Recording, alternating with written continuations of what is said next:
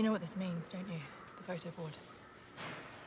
The Commonwealth That was a wallet-sized photo of you, which means it was in your brother's wallet, which means he kept the wallet on him in the apocalypse, possibly for 10 plus years. And who does that? He sounds awesome. What